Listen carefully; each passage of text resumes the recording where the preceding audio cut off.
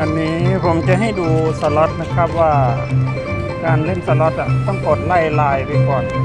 ผมใส่แบงค์ร้อยตรงนี้ใช่ไหมครับ กดไล่ลายสามบาทว่าถ้าถ้ามัน free game เหมือนจะลง เราก็คือกันเดาทั้งนั้นเลยครับ ผมก็จะขึ้นใหญ่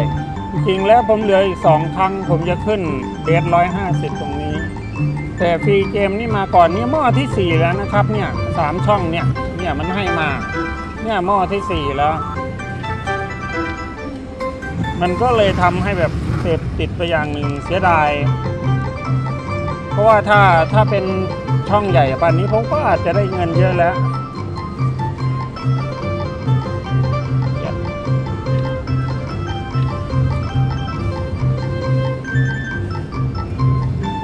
อันนี้เล่นเพลินๆนะครับ เพราะว่า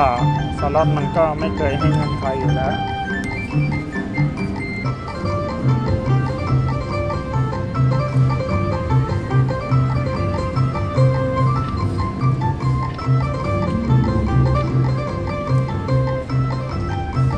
ถือว่าให้เยอะครับ มันให้ฟรีทั้งสามหม้อ แต่ว่าช่องมันน้อยมันก็คงยาก ที่จะได้ เนี่ย ถ้าเป็นใหญ่มันก็คูณใหญ่ คูณนี่ตามนี่ได้เต่าด้วยครับซ่อนอยู่เนี่ย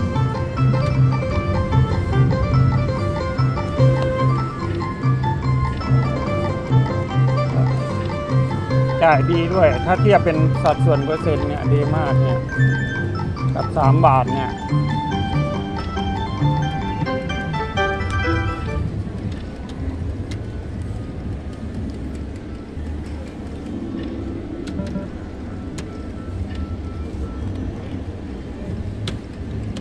อ๋อ มันเอาเงินออกตรงนี้ตัวนี้